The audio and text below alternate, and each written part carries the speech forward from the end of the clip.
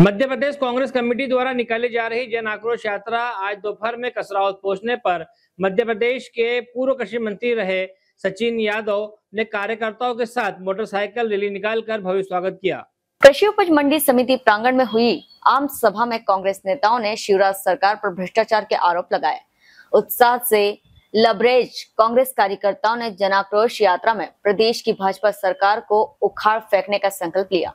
मध्य प्रदेश कांग्रेस के प्रभारी अखिल भारतीय कांग्रेस कमेटी के सचिव संजय दत्त ने जन आक्रोश यात्रा के भव्य स्वागत पर सचिन यादव सहित कांग्रेस कार्यकर्ताओं के प्रति धन्यवाद ज्ञापित करते हुए उनके प्रति आभार व्यक्त किया। संजय दत्त ने मीडिया से कहा कि निमाड़ मालवा अंचल के 35 विधानसभा क्षेत्रों से निकलने वाली जन आक्रोश यात्रा का सभी जगह अभूतपूर्व स्वागत हुआ। उन्होंने आरोप लगाया की शिवराज सरकार ने मध्य प्रदेश को बदहाल कर दिया है। अब तो उनके केंद्रीय नेतृत्व ने भी मान लिया है। कि शिवराज सिंह डुबती नैया है। कसरावत से अकिल खान की रिपोर्ट।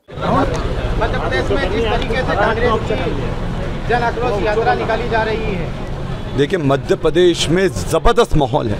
और ये जन आक्रोश यात्रा का जो सबसे बड़ा उद्देश्य था कि जो जनता के मन में जो आक्रोश बैठा हुआ है, उसको एक मंच देना, उसको बाहर निकालना ताकि सरकार तो किसी का नहीं सुन रही।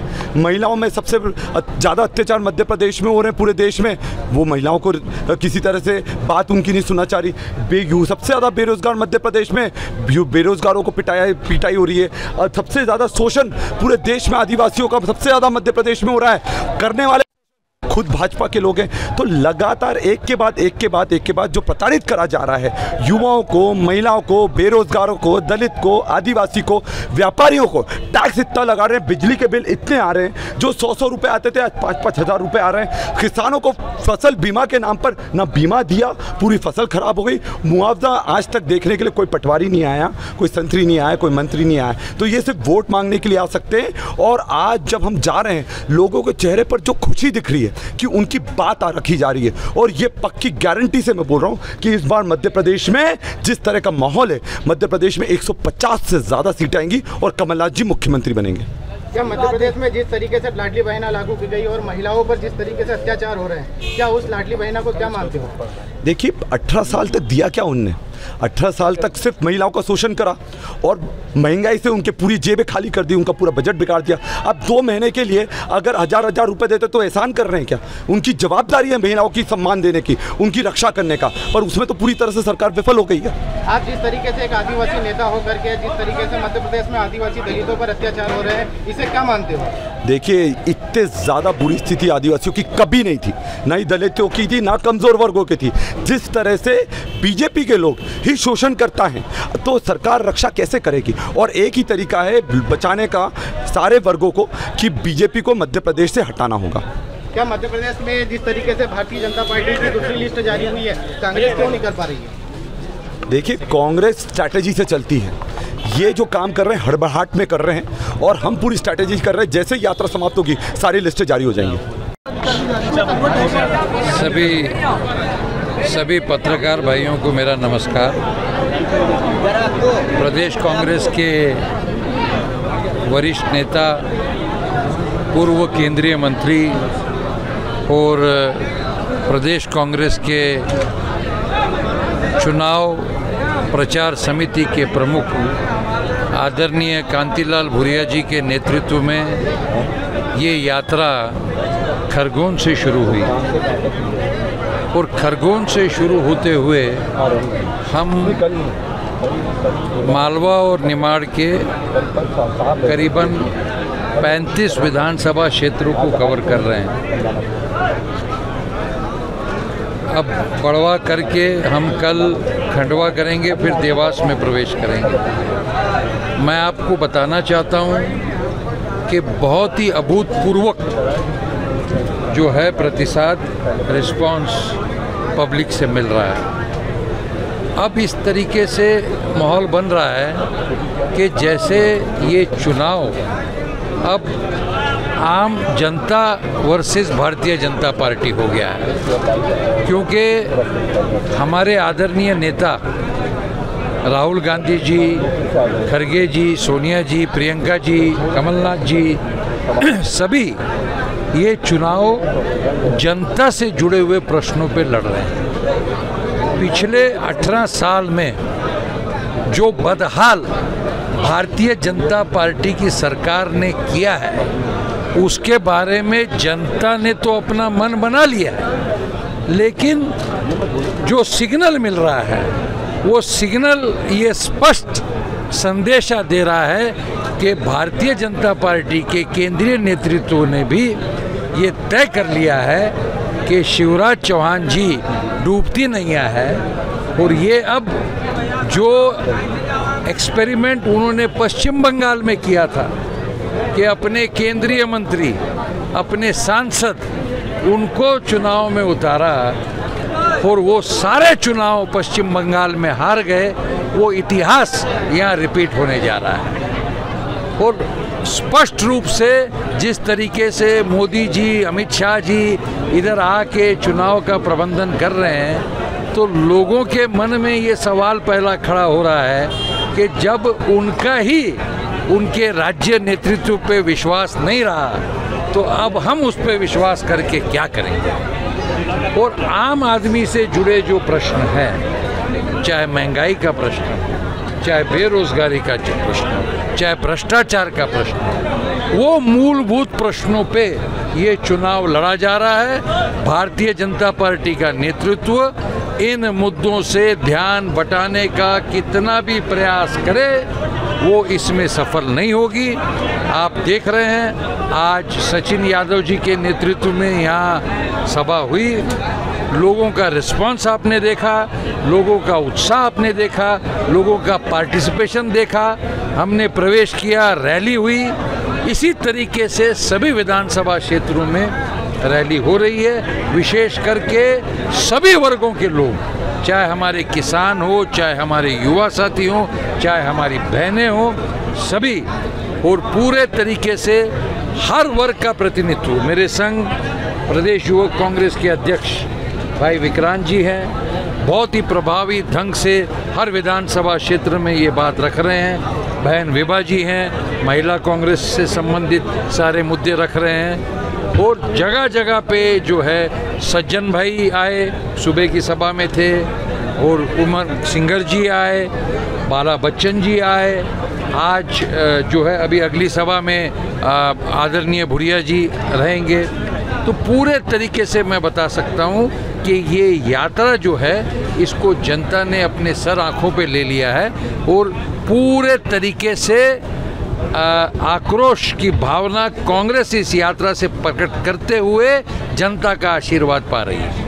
मध्य प्रदेश में जिस प्रकार से भारतीय जनता पार्टी की विकास यात्रा निकली हो निकली हो जगह जगह उसका विरोध हो रहा है। और एक तरफ़ कांग्रेस की जन आक्रोश यात्रा निकल रही है, इसमें कितना आशीर्वाद मिलेगा नहीं, पूरी तरीके से जैसा मैंने बताया कि जन आक्रोश यात्रा ये जनता के मन की बात प्रतिबिंब कर रही है। जनता के दिल में जो त्रासदी है जो पिछले 18 साल में जन विरोधी नीतियों के माध्यम से भारतीय जनता पार्टी ने जनता का शोषण किया है, प्रताड़ित किया है, ये उसको प्रकट कर रही है। इसलिए ये जनता की यात्रा बन गई है। और किस बात की जन आशीर्वाद यात्रा?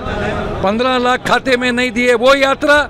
महँगाई कम नहीं की उसका आशीर्वाद मांग रहे हैं। महिलाओं पे अत्याचार हो रहा है, उसका आशीर्वाद मांग रहे हैं। बेरोजगार पढ़े लिखे बिना नौकरी के घूम रहे उसका आशीर्वाद मांग रहे हैं भ्रष्टाचार के लिए आशीर्वाद मांग रहे हैं या इतने व्यापम जैसे इतने घोटाले किए हैं कि पूरे देश में आज मध्य प्रदेश का नाम खराब हो गया उसका आशीर्वाद मांग रहे हैं? ये सवाल जनता पूछ रही है। क्या लगता है आपको जो 2024 के गठबंधन बना है इंडिया गठबंधन उसका भी असर यहाँ मध्य प्रदेश में देखने को मिलेगा? पूरे देश में इंडिया का गठबंधन है आप इस बात से एहसास कर लीजिए कि इंडिया अलायंस के नाम से ही मोदी जी डर गए और उन्होंने देश का नाम बदलने की जो सगुफा छोड़ा तरह तरह की दिशा भूल करने की बात की।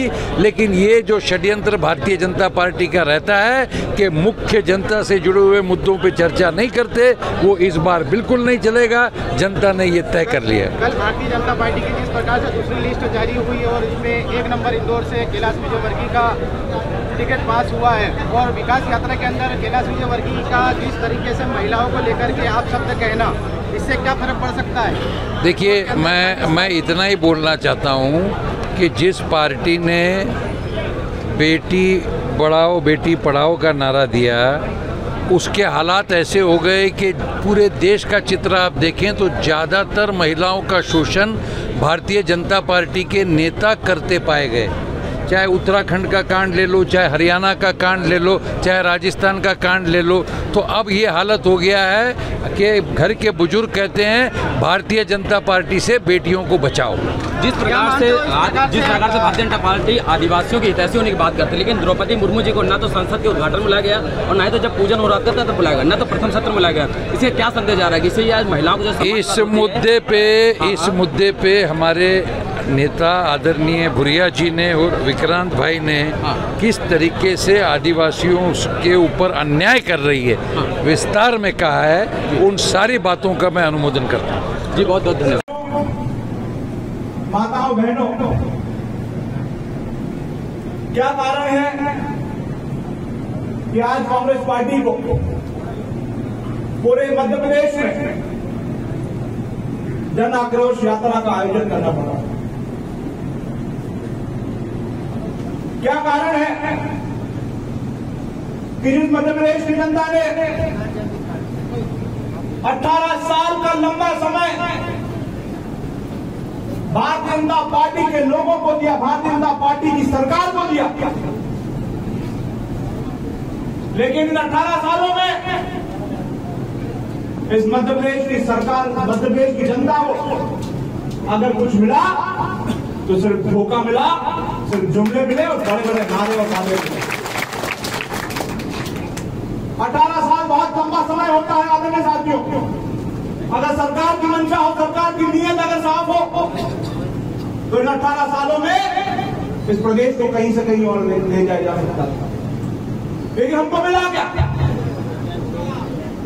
हमको मिला एक ऐसा मध्य प्रदेश जो महिलाओं के अत्याचार के मामले में देश में नंबर वन।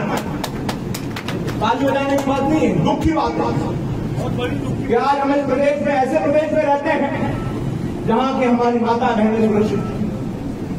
हम एक ऐसे मध्य प्रदेश में रह रहे हैं जहाँ पर आए दिन हमारे आदिवासी भाइयों के साथ अन्याय होता है अत्याचार होता है उनके साथ घटनाएँ होती हैं हम आज एक ऐसे मध्य प्रदेश में रह रहे हैं जहाँ पर हमारे आज़ाद समाज के साथियों के साथ लगातार ये भारतीय जनता पार्टी के नेता और कार्यकर्ता उनके ऊपर जुल्म डालने का काम करते हैं, उन पर कहर डालने का काम करते हैं।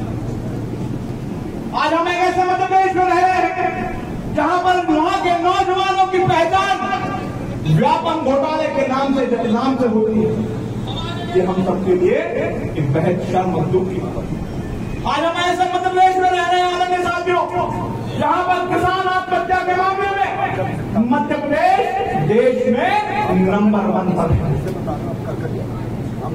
एक ऐसा मध्य प्रदेश सब और आपको इस अठारह साल की पार्टी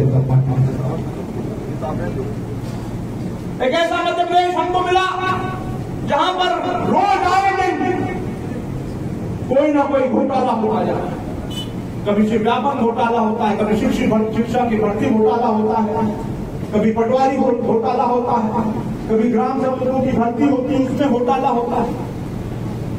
कभी तीन सौ हज़ारों करोड़ों के जो डैम है, वो डैम बह जाते हैं। नर्सिंग का घोटाला होता है। कैसा मध्य प्रदेश आज हमको आपको मिलाना चाहिए आज वक्त है। आज वक्त है।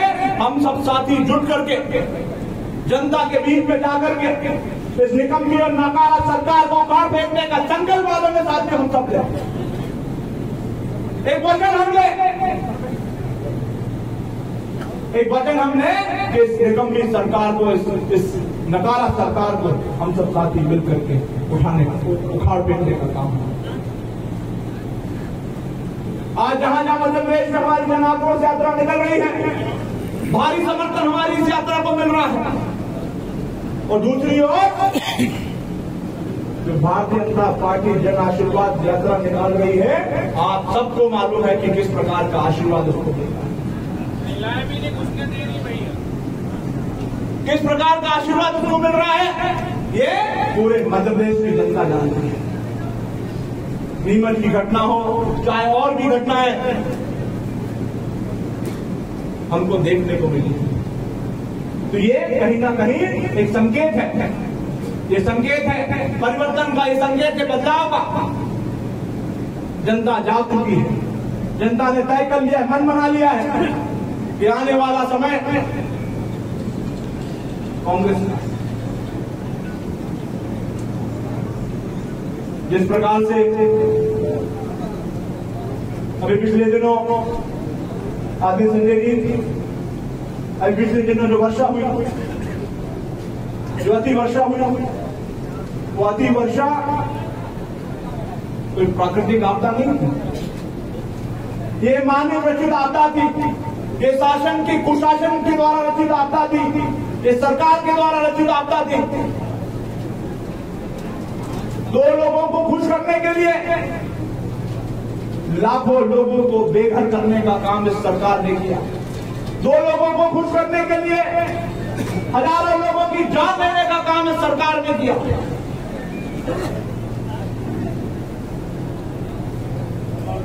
नीचे गुजरात में बैठा हुआ, जिसने अपने जन्मदिन मनाने के लिए सरदार सरोवर के गेट को बंद कर दिया और ऊपर अपनी वाहवाही लूटने के लिए ओंकारेश्वर में एक आयोजन करने के लिए आठ दिन तक तक ओंकारेश्वर बाँध के गेटों को बंद किया गया। और जब कार्यक्रम समाप्त हुआ तो अचानक ओंकारेश्वर बाँध के पूरे गेट खोल दिए गए। उसके कारण ये तबाही ओंकारेश्वर से लेकर के सरदार सरोवर तक। ये तबाही हमको देखने को हमने और हमारे साथियों ने एक एक घर हम लोग गए। जो बाढ़ प्रभावित थे, जो बाढ़ पीड़ित थे, उनके दुख को हमने देखा, उसको महसूस किया। किस प्रकार से अपने तानाशाही के कारण लोगों के घर में आज एक अन्न खाने का नहीं ये परिस्थितियाँ आज पूरे क्षेत्र में लोगों की, वर्षों की जो मेहनत थी जो कमाई थी वो कमाई एक ही झटके में इस सरकार ने उनके हाथों से छीन लिया था। इसके लिए कौन जिम्मेदार है? ये यहाँ की जनता जानती है। कल शायद आपका दौरा ओंकारेश्वर ओंकारेश्वर रहेगा। कल आप ओंकारेश्वर जा रहे हैं। आप ओंकारेश्वर जाए तो आप जाकर के वहाँ की जो जो प्रभावित लोग जो पीड़ित लोग हैं, उनकी दुख दर्द को आप सुनिएगा वो आपको पूरी घटनाक्रम बताएँगे। वो आपको बताएँगे कि किस प्रकार से ये जो तबाही का मंजर पूरे क्षेत्र में हमको देखने को मिला, किस प्रकार से उसको निर्मित करने का काम किया गया। और मैंने अपने इतने सालों की सार्वजनिक जीवन में इतने इससे ज़्यादा नकारा और निकम्मा प्रशासन मैंने अपने जीवन में नहीं देखा। आज लोगों को ज़रूरत थी कि शासन सरकार उनके साथ में खड़े हो। लेकिन एक नुमाइंदा उनके बीच में झांकने को एक नुमाइंदा उनको सूट लेने के नहीं, लेने नहीं गया। और आज भी हमारे लोग शासन की मदद की, रास्ता देख रहे हैं, उनकी राह देख रहे हैं। आज पूरे क्षेत्र में हज़ारों एकड़ में मेरे जो अन्नदाता है, उन अन्नदाताओं की फ़सलें बर्बाद हो गई है, चौपट हो गई है। लेकिन सरकार का निकम्मापन निकम्मापन देखिए कि आज दिनांक तक किसान के खेत का सर्वे कैसे हो, उस दिशा में कोई दल का गठन नहीं किया गया। सर्वे करना तो दूर की बात है, उनके खेत तक पहुँचना तो दूर की बात है। ये निकम्मी सरकार और निकम्मा प्रशासन आज तक दल गठित करने का काम ये सरकार नहीं कर साथियों, ये हमको समझना पड़ेगा कि कौन हमारे हितों की रक्षा करने का काम करता है, कौन हमारे लिए कार्यक्रम बनाता कौन कौन हमारी योजना चलाता है? ये हमको, ये फ़र्क हमको समझना पड़ेगा। ये फ़र्क हमको जनता के बीच में जाकर के बताना पड़ेगा। एक तरफ़ वो पार्टी है जो हमेशा गाँव गरीब किसान मजदूर की बात करती है, और एक तरफ़ वो लोग हैं जो बड़े बड़े धंधा सेठों उद्योगपतियों की बात करते हैं। आदित्य जी, आप सबके आशीर्वाद से मुझे मध्य प्रदेश का सबसे युवा कृषि मंत्री सिर्फ़ मध्य प्रदेश नहीं देश का सबसे युवा कृषि मंत्री बनने का मौका मिला। और आप सब वरिष्ठों के आशीर्वाद से, आदरणीय कमलनाथ जी के आशीर्वाद से, देश की सबसे महत्वपूर्ण योजना, हमारे कांग्रेस पार्टी की प्रदेश की सबसे महत्वपूर्ण योजना, किसान कर्ज माफ़ी की योजना को लागू करने का जिम्मा कुछ नौजवान से आप लोगों ने दिया।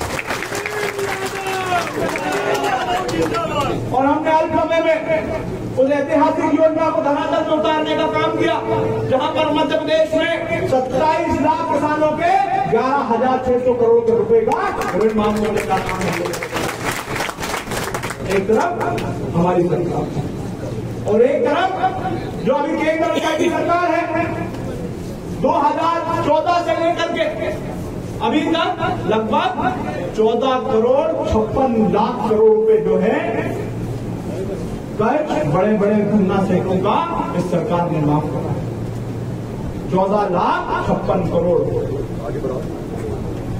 इतनी बड़ी जो राशि है जो हमारे आपकी मेहनत की, पसीने की कमाई है, जनता की कमाई है।